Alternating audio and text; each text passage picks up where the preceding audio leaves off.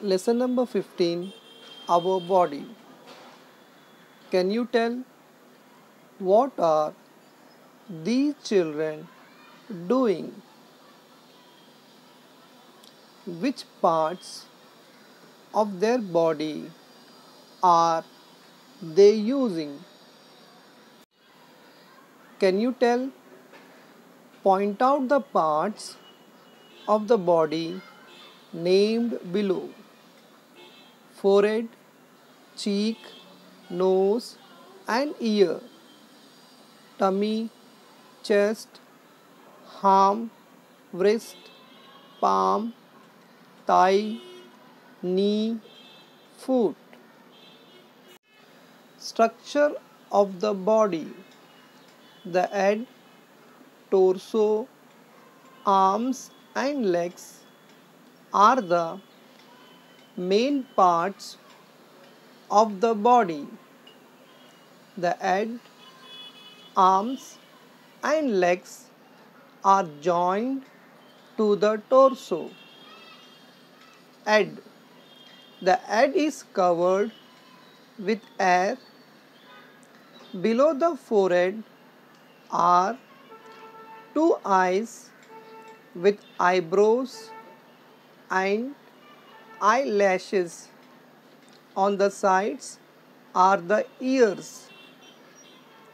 In front is the nose. Below the nose is the mouth and below that the chin. The part that joins the head to the torso is the neck.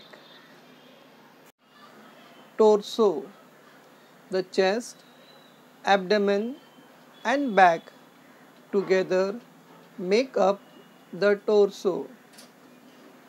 The part where the arm is joined to the torso is called the shoulder. The leg is joined to the torso at the hip joint. Arm. The arm has three parts upper arm, forearm, and hand. The fingers are part of the hand. The upper arm and forearm are joined at the elbow.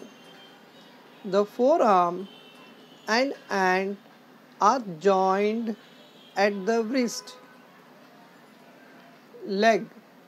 The leg two as three parts thigh, shank, and foot.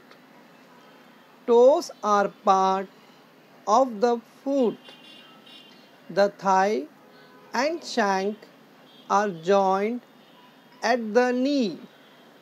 The shank and foot are joined at the ankle. New terms organ a part of the body that is used for a particular purpose. We use our legs for walking. So, legs are organs. We use our ears for hearing. So, ears are also our organs. External organs. Organs that are on the outside of our body. Legs, arms, ears, and nose are our organs. They are on the outside of our body. Hence, they are our external organs. Can you tell how will you walk without bending your legs at the knees? Can you comb your hair without bending your arm at the elbow. Movements of the body. Try to bend a wooden stick. Can you do so? Why not? Suppose that our legs and arms also could not bend, would we able to make movements? Some of our body parts can bend. That is why we are able to make movements. Which parts of our body can be bent? Try this. Stand in front of the mirror and move your neck as shown in the pictures. The neck. The neck bends forward as well as backward. It turns left or right. It also bends left or right. Arms. We can bend our arm at the shoulder, elbow, and wrist. The fingers of our hands can bend too. That is why we can make a fist, we can do many things with our hands. We use our hands to write and to pick up things. Mother shapes a laddu with her hands. Baby holds the rattle in her hand. The waist. We can bend our torso only at the waist. We can bend forward at the waist. That makes it easier for us to do many things.